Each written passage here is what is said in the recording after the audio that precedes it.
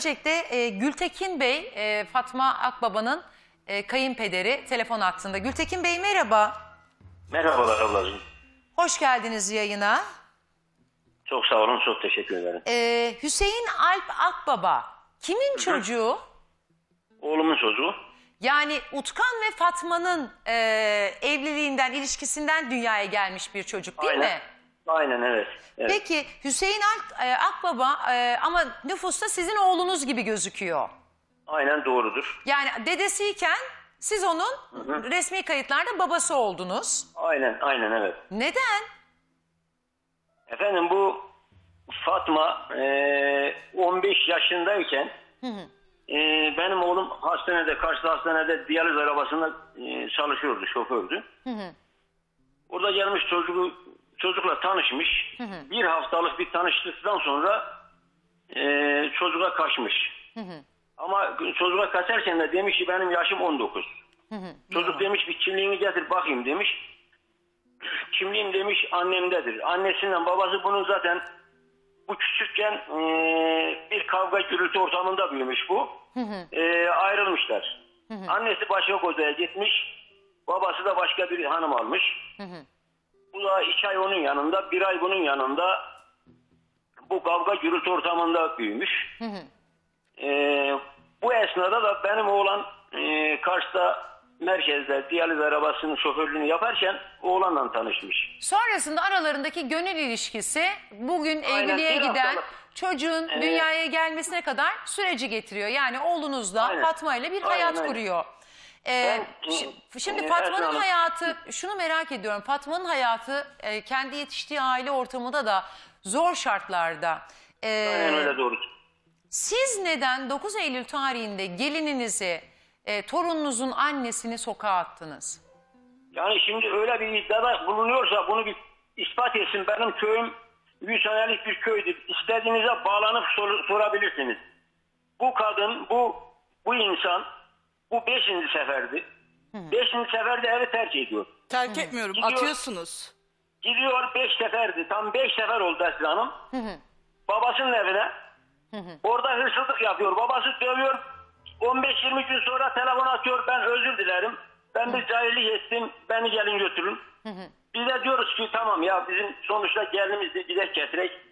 Gidip getiriyoruz. Burada 3-4 ay duruyor. 3-4 ay sonra tekrar. Tekrar ben gideceğim babamın evine. Bunu 4 sefer tekrar etti. En son 5. kezinde de bu en son kezinde de çocuk 4 yaşındadır. Daha konuşamıyor. Ben Konuşuyor doktora abla. götürdüm. Doktor diyor ki doktor dedi ki bu e, bir şeyden korkuyor. Bu çocuğunu dövüyormuş. Çocuğu uykulu uykulu kaldırmış. Siz de Dört onu ispatlayın. Bir dakika, evet. çocuğa kendisine e, değiştiriyormuş bezini. Biz Ne? bunu bilmiyoruz tabii ki. Çocuğun bezini uykudan kalkıyor, çocuğu dövüyor ki kalk bezini değiş. Gültekin Bey siz aynı Peki, evde yaşamıyor musunuz? Şimdi onu soracak. Bu- Bunun olan Fatma şey, nerede e, yaşıyor? Yani hani kalabalık bir ev mi yoksa onun kendi ayrı evi mi var? Esra Hanım, ilk önce bunu ben ben ayrı yaşayacağım dedi. Ben bunu bir, bir yukarıda başka bir takım evimiz var. Ben ayırdım oraya koydum. Tek 6 başına ay bu kışın yatağını günü. toplamadı. 6 ay içeride kaldı. 6 ay sonra geldi dedi ki ben yapamıyorum. Yalnız başıma özür dilerim. Ben e, sizin yanınıza gelmek istiyorum. Benim tek oğlum var. Bir tek, tek oğlandır.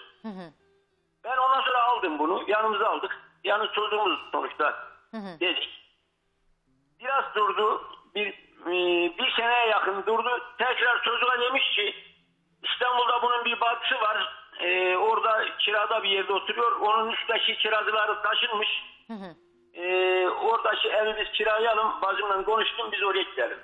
Bu olayın Burada- olduğu ev neresi? Yani orada Fatma yalnız mı yaşıyor sizinle mi? Bizim bizim evim yanımızda yaşıyor. Bizim Yani- yanımızda yaşıyor. Ya bu çocuğa atıyorum hani çocuğa dediniz ya şiddet uyguluyor ya da çocuk doktora götürdüm çocuk bir şeylerden korkuyor. Çocuğa alt bezini kendi değiştiriyormuş. Bunların hepsi olurken Fatma'yı o evde gözlemleyen biri var mıydı? Kesinlikle yok. Esra odası abla. ayrı ayrı odasına Yalan gidiyor. atıyorlar O- ya. Yalan atıyorlar. İspatlasınlar. Şimdi kalabalık bir evde mi On- yaşıyorsunuz evet, siz? Evet kalabalık bir evde yaşıyorum. Yani 19 Hamza, yaşında 10 ben yaşındaki bunları Hamza söylemese bu çocuğun o zaman dayak yediğini, benim dört yaşındaki çocuğun siz götürselerdi yine. Bir dakika devam edin lütfen Gültekin Bey. Esra Hanım e, daha sonra tekrar bu çocuğa demiş ki ben ayrılmak istiyorum. Kavga gürültü çocukla kendi odalarına çekildiği zaman orada kavga ediyorlarmış. Bu gene tekrar gitti. O zamana kadar bunun e, şeyi yoktu. Resmi nikahı yoktu. Sebebine gelince söyleyeyim ben onu da. Bu çocuğu e, 19 yaşındaydı demiş gelmiş ya. Yalan Yalan atıyorsunuz ya böyle bir yalan mı var ya? Biz bunların e, sesini kesmesen benim sesini kesme ben bir konuşayım. Doğru konuş o zaman. Ben bir konuşayım sen de kendi iddialarını söyle. Söyledim ben. Ee, Esra Hanım biz e, bu cüzdanını getir bunların evliliğini yaptıralım. Hamile kaldı bu. Dedi cüzdanım annemdedir. Annesi de Ankara'da birine bozaya gitmiş. Annesine telefon açıyoruz bende yoktur dedi. Babasındadır. Babasına gittik babası karşı merkez, merkezde oturuyor. Ee, bende yok dedi annesindedir. Tekrar neyse annesine annesinden çıktı cüzdanı gönderdi. Bu 2001 doğumlu. 11. ayın bilmem kaçı 2001 doğumlu. Şimdi e, çocuk da doğdu. Biz bu sefer gittik.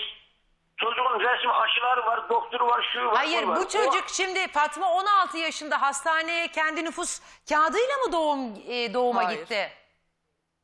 O- yok. Kimin Kendi nüfus kağıdını aldı?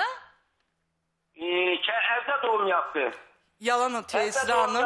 Görümcemin adına girdi. gittik, Çocuğu gittik kendi adımıza kaydettirdik. Şimdi bak Yalan çok atıyor. enteresan. Ab, ablacığım nerede doğum yaptın? Kars Devlet Hastanesi'nde doğum yaptım. Görümcem kendi kimliğini verdi.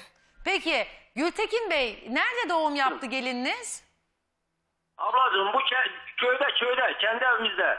Yalan atıyor. Kendi Ya evimizde burada doğum yaptı. Ya gerçekten Em, kendi Nazan. Hanım, Nazan Hanım'ın üzerine kayıtlı kaç çocuk var kızınızın üzerine? Bir çocuk. Kaç? Bir tane. Bir, Bir tane. tane. Ama bakın Ha? bu Şimdi savcılığa ama- intikal ettiğinde eğer Nazan'ın Kars Devlet Hastanesi'nde iki kez doğum yaptığı ortaya çıkarsa ne yapacaksınız Gültekin Bey? Hiçbir şey. Öyle Ha? bir şey olmayacak. Siz- Öyle Ay bir şey şimdi olmayacak. şurada bile anlaşamıyorlar ki. O diyor Ya. devlet hastanesine yaptım diyor. O Evet. diyor ki köydeki evde yaptık diyor. Esra Hanım onlar Peki, iyilik o- meleği. Ha? Onlar hiçbir şey yapmadı. Peki- Evde doğum yapmışım ya böyle bir şey mi var Peki ya? Nasıl oğlunuz insanlarsınız nerede siz? Güntekin Esra Bey? Ee, o- Esra Hanım ben bir müsaade edin bitireyim. Ya bitireceksiniz de ben bu arada Doğru şey de merak o ediyorum. zaman ya, Utkan nerede doğru şu konuş. anda? Utkan şu anda e, Kars'a gitti. E, eşimin bir emarı var onu çektirmeye gitti. Ha anladım yani hani ben acaba dedim yurt dışına gitti çalışmaya mı Kars'ta. Peki o gün şimdi Fatma'nın evden e, gönderildiği gün şimdi çocukla ilgili bazı olaylar olmuş ya ha, Hamza gelmiş size şiddet uyguluyor demiş. Bunun üzerine e, siz Fatma'yı evden göndermeye karar vermişsiniz doğru mu? Esra Hanım bir de Evet. kalkmış. Nasıl oldu peki değil olay? Esra Hanım. Şu evine gideceğim dedi. Ben de Darp dedim ki ediyorlar özellikle. Yaratık oradan diye kendisi- bahsettiğiniz kimdir Gültekin Bey? Ben, Ben. anlayamadım orayı. Yani bu yalan söylediği için diyorum. Bak şimdi Esra Benim E, o zaman babamın evine Gültekin kim Bey götürdü? her Kendi siz de yalan söylediğinizde ben, siz ya da ben de götürdünüz. size e, sizin yalanlarınızı mesela ortaya çıkarsam size yaratık deme hakkına sahip miyim? Yok. Siz de Ben devlete niye yalan yalan? söylüyorsunuz. Size ait olmayan bir çocuğu nüfus idaresine gidiyorsunuz. Bilerek, isteyerek. Devlete yalan söylemek ne kadar ağır bir şey. Bir de düşünün çocuğunuzun soy bağını torununuzun gizliyorsunuz. Böyle bir vebal altına girilir mi? Hani Şu- yalandan bahsediyorsunuz ya. Fatma'nın evden Avukat gönderil... hanım. Hı, söyleyin. Avukat Bakın bu hanım. bilerek, Avukat isteyerek. hanım. Dinleyin Avukat lütfen. hanım. Buyurun. Sen bir beni dinle. Avukat hanım beni bir dinle. Din- Ha. söz vereceğim Bu size. savcının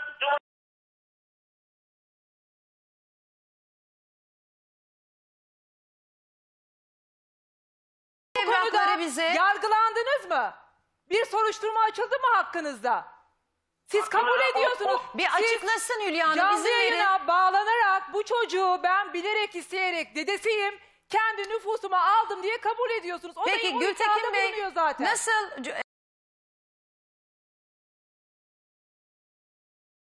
Ee, Esra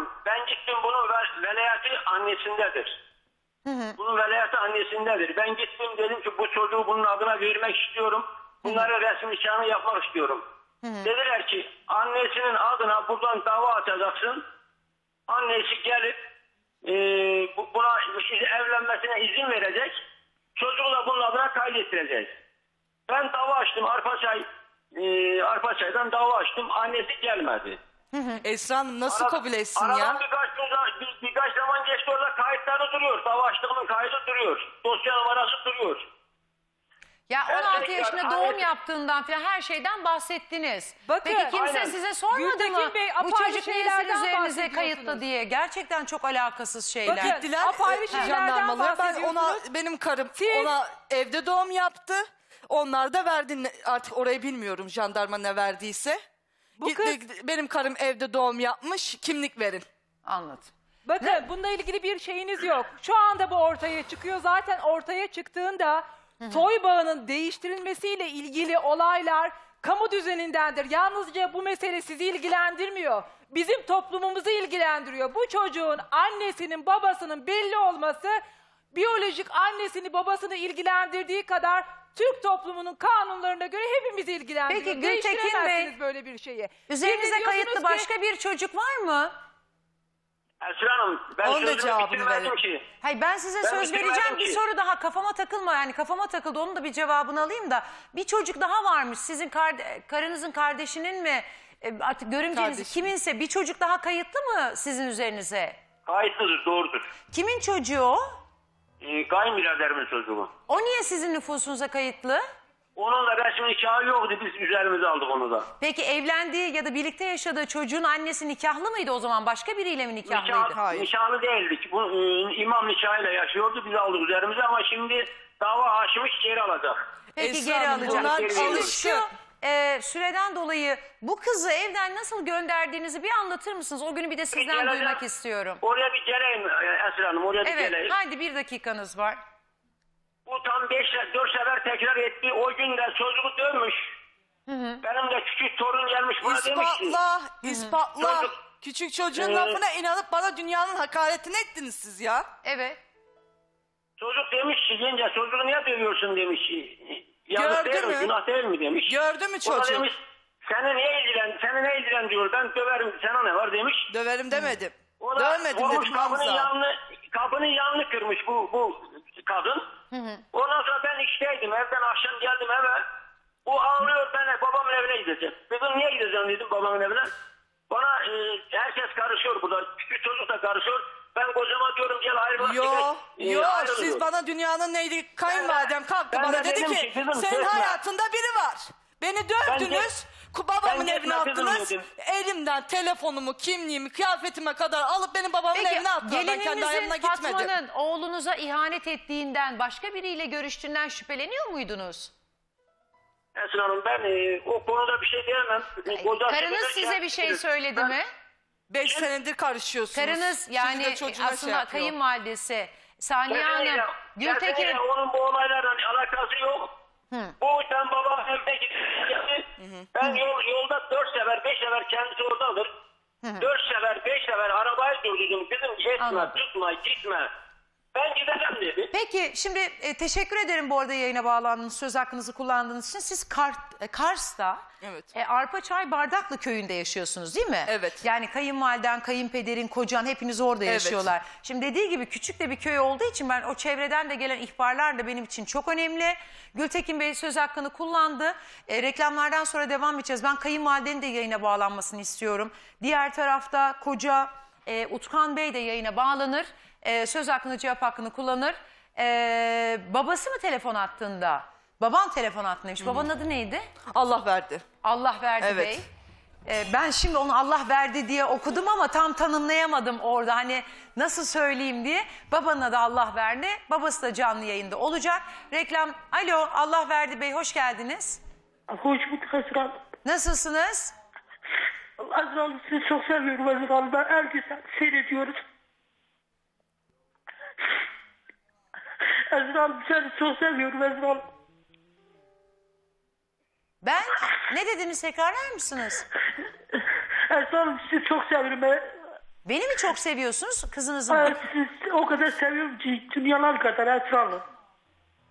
Keşke böyle tanışmasaydık Allah verdi bey. Vallahi çünkü Hanım ben de o kadar şey etmezseydim keşke. Peki.